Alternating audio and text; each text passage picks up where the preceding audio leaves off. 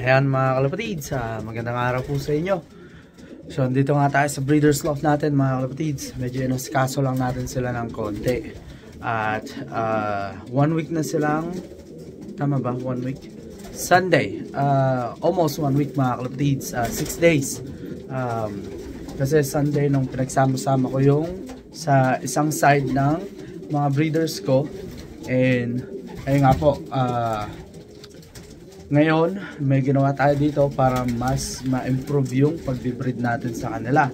Uh, or uh, mas maging ready yung pag-breed nila mga kalapatids. And ito, bago humaba ng humaba itong upload natin mga kalapatids, papakita ko po sa inyo yung mga ginawa natin ngayong araw mga kalapatids para dito sa ating isang side ng mga breeders mga kalapatids. So, ayan mga kalapatids, umpisa tayo sa flooring. So, um, tinanggal natin yung mga yung mga ganon, yung buo-buong droppings. Tinanggal natin mga kalapatids. And then, ayan, naglagay tayo ng nesting material mga kalapatids. So, uh, sinave ko pa yan since last year mga kalapatids, nung fall season. Fall season mga kalapatids, nag-uhulog ang pine needles. So, sinave natin yan mga kalapatids para gawing nesting material sa ating mga breeders mga kalapatids. Ayan, kalalagay ko lang. So, ewan ko, ayun, yung cockburn na yun, mukhang mag-umpisa nang maghakot. Um, pero kalalagay-lagay ko pa lang to mga kalapatid. So, more than likely, hindi mo pa masyadong makikitaan or hindi ko pa masyadong makikitaan ng mga naghahakot na ibon mga kalapatids.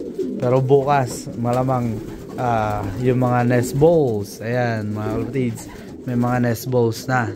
Yung mga nest balls na yan, magkakaroon na ng mga pine needles. And then, nilagyan ko nga pa ng pala, mga kalapatids, ng ganito. Yung uh, extra or uh, patapon na na mga uh, maninipis na carpet, mga kalapatids. Uh, pinutol-putol ko enough to cover yung sa ilalim, mga kalapatids, para uh, mas malambot, kumbaga. And then, um, pagka nilagyan na nila ng nesting material yung mga nest ball, um, at least kahit manipis yun maging sa ilalim is uh, malambot pa rin para sa kanila. Para pag umupo yung mga kakenhen yung mga magulang mga kalapatids hindi basta-basta mababasag yung itlog. Kasi meron na akong mga nakaraang breeding season na yung cock medyo mabigat. So pag umuupo siya mga kalapatids is um, nagkakaroon ng crack yung itlog and then nasisira. Uh, sayang naman mga kalapatids. And then nakakuha tayo ng um, konting idea para hindi ano uh, hindi siya basta-basta mabasag kahit na upuan siya ng medyo mabigat na cockbird. Pero yan nga mga kalapatids, ano, ang lulikot na ng ating mga breeder dito sa side na to mga kalapatids. Ayan sila. Um, yung iba, ito, nagpares na yan. Itong sa ilalim, pares na rin yan mga kalapatids. Ito, tsaka yung, ito, itong blue check na to, pares silang dalawa. Ay, tama ba? Opo, opo. Uh, yung blue check na yan. Saka yun. Then dito mga kalapatids. Nasaan na ba yun? Uh, yun yung nasa taas. Pares. Tsaka yun nandito. Yung sa may baba.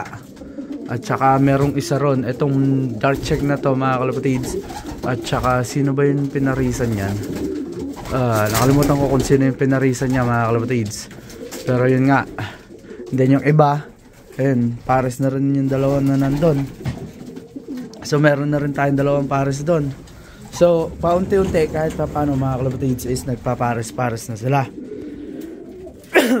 ah, and then ayan yung ano, sinave nating nesting material mga kalapatids. Pine needles nga po. Ayan, naglagay na rin tayo doon ng konti para, ayun o. Oh, makita nyo mga kalapatids, nilagyan natin ng nesting pad uh, para nga po hindi siya basta-basta mabasag. Or hindi basta-basta mabasag yung mga itlog. And then dito naman mga kalapatids ayan yung ating mga alaga. Uh, ang magkapares pa lang dito mga kalapatids ayan. Tsaka yung blue bar na nakaupo ron. Then yung dalawa na yon itong dalawa na to uh, sino pa ba? Merong siguro itong dalawa na to mga kalapatids baka magkapares yan Ah, yung dalawa ron, hindi magkapares yun. Dalawang hen yun. Ah, yung grizzle, tsaka yung blue bar na yun. Pares na hen.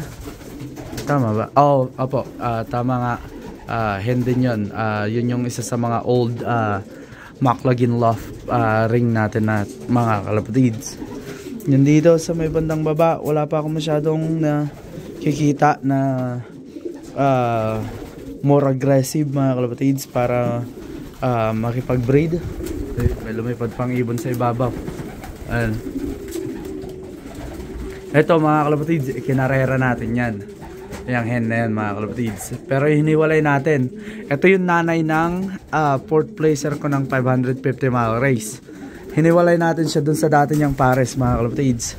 Gusto ko lang makita kung anong magiging ah, future ah, anak niya sa ibang cockbird. And then gusto ko rin makita yung magiging future anak nung cockbird sa ibang hen mga kalapatids. Ah, siguro for 2 years um, pagka ah, nakitaan natin ng maganda um, doon natin siya ipapares kung sino man yung naparisan niya. Pero kung mas maganda pa rin yun sa dating cockbird niya mga kalapatids ibabalik natin siya doon sa dating cockbird niya. Ayan yung purong arden natin mga kalapatids na cockbird. Ayan. Ah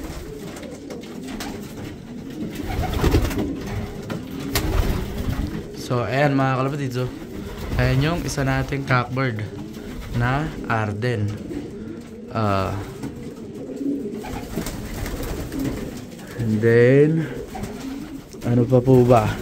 So, wala, wala talaga tayo masyadong may upload dito mga kalapatids. Pero, yun nga po, hopefully, itong mga to is um, mag-decide na kung sino talaga yung maging pares nila soon.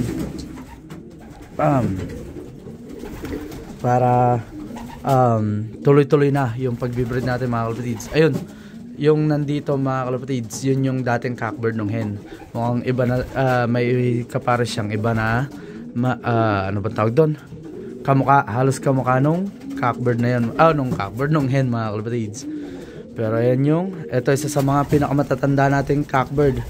Ah, 2011 yan mga kalapatids, yung cockbird na yan. At pinarisan niya yung Oh, eto pala ang kapares niya mga kalapatids. Etong hen na to mga kalapatids.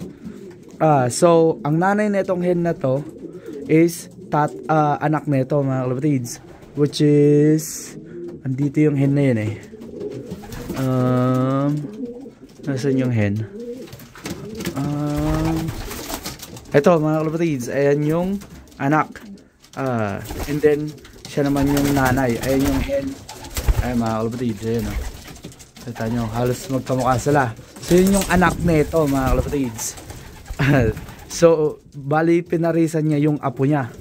Ah, makita natin kung anong kalalabasan, kung maganda ba yung maging pares nila. ah, excuse me. So yun mga kalapatids, hanggang dito na lang po muna tong update na to. Hayaan ko na lang po muna yung mga ibon na mag ah, maging excited, magpares-pares and hopefully maging maganda yung kalabasan ng mga nangyayari sa kanila mga kalapatids. And then ito nga po ulit yung special breeder nating dalawa. So ayan mga kalapatids, hanggang dito na lang po muna. Maraming maraming salamat po ulit sa inyong walang sawang suporta mga kalapatids. Uh, shout out po sa inyong lahat at shout out Team Yahoo.